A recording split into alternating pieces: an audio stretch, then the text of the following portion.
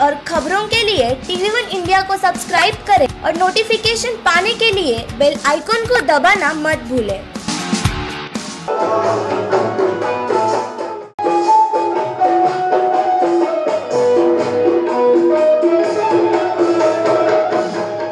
तो को चीर कर उठेगा दीवाना मोहम्मद अली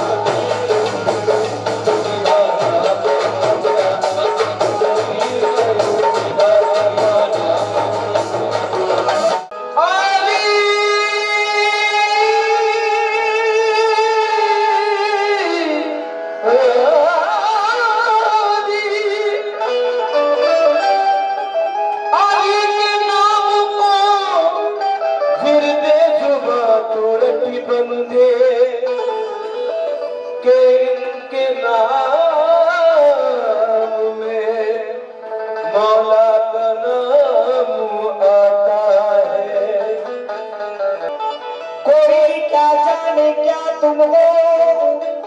कहीं परमात्मा तुम हो। कहीं धर्मात्मा तुम हो। तो मैं तो नाम जपूं अली अली का। आहे मैं तो नाम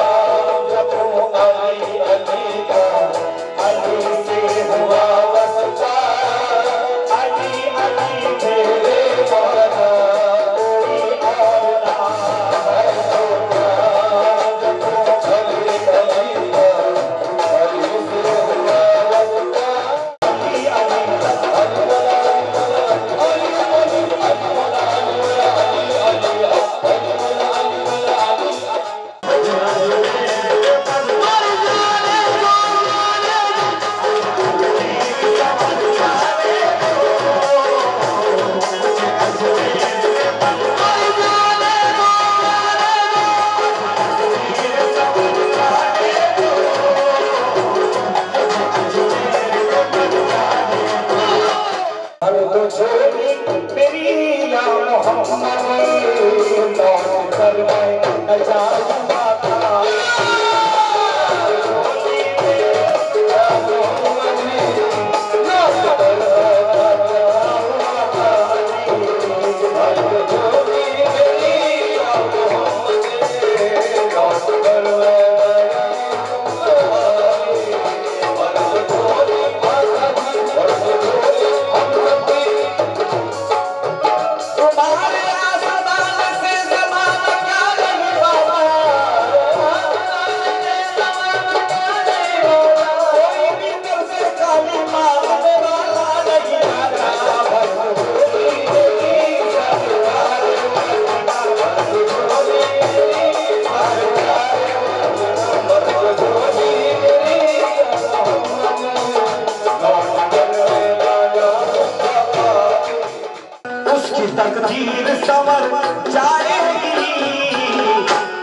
Swami Sami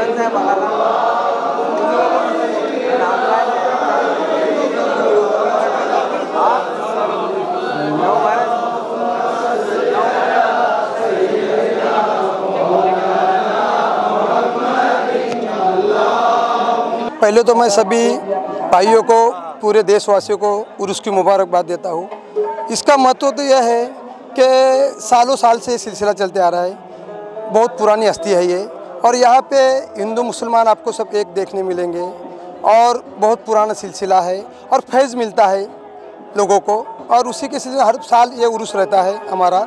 और उसी के चलते सारे लोग यहाँ आते हैं और अपनी अपनी मुरादें जो रहती है उनकी फैज़ पाते रहते हैं। जि, जिस्मानी परेशानी रहती है किसी को और परेशानी रहती है जो यहाँ पे आते हैं बाबा के दरबार पे और उनकी मुराद पूरी होती है और देखिए आप हर गुरुवार को यहाँ पे कम से कम 500 लोगों के लिए न्याज भट्टी है हर गुरुवार को। पूरे खरगर और नवीन पनवेल न्यू बॉम्बे से पूरे लोग यहाँ पे आते हैं। और और नजराना यहाँ बट्टे रहता है और लोगों की तकलीफ़ जो रहती है उनमें, उनको मतलब उनकी मुरादें पूरी होती है। मैं तमाम वोवा गाँव के और खागर वासियों को पहले सईद आमिर शाह बाबा के उर्स का सबको न्योता हमने दिए थे और सबका शुक्रिया अदा करते हैं। मैं सबसे पहले ये कहूँगा कि जितनी भी हाजरीन यहाँ पे हाजिरी देने आते हैं हर साल के हिसाब से तो इस साल और ज़्यादा, पब्लिक ज़्यादा बढ़ गई है।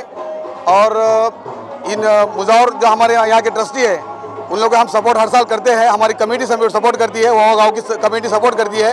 खासकर हमारे मंसूर भाई, मुदस्सिर भाई, मुख्तार भाई, हम लोग जो है, हमारे मुजावर लोग को सपोर्ट करते हैं। और ये बहुत सालों से चलता आ रहा है। और ये हस्ती जो ऐसी है, जो बेचारे परेशान हाल है, जो बेचारे परेशान है, हर जुमेरात में यहाँ पर लोग आते हैं। और हर को अपने अमित शाह की तरफ़ से इनको फैज़ मिलता है।